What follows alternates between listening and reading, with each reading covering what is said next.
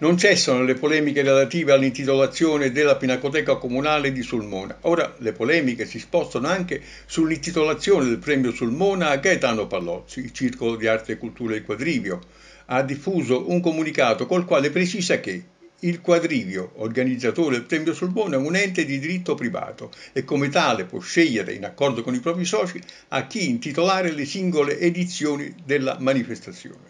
Il comunicato non lo dice, ma fa riferimento ad un altro comunicato diffuso dalla Commissione toponomastica e riportato da alcuni giornali, la quale, tra l'altro, afferma Inoltre, del tutto arbitraria ed illegittima, sia perché non supportata da alcun atto amministrativo, sia perché decisa da organismi che non hanno competenze in materia, è anche l'intitolazione del premio Sulmona a Gaetano Pallozzi, peraltro sancita quando il maestro era ancora in vita.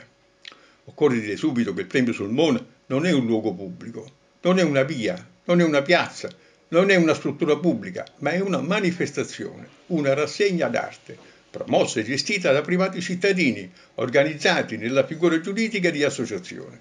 Appare chiaro sotto il profilo giuridico che il premio Sulmona non rientra nella disciplina dell'articolo 2 della legge 1188, pensate, del 1927, scritta cento anni fa.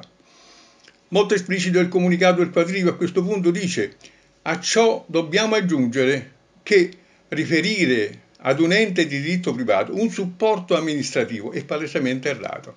Non usa mesi termini il comunicato, si tratta di un errore. Considerato con tale definizione si intende un atto posto in essere da una pubblica amministrazione. Beh, il Quadrivio certamente non è una pubblica amministrazione.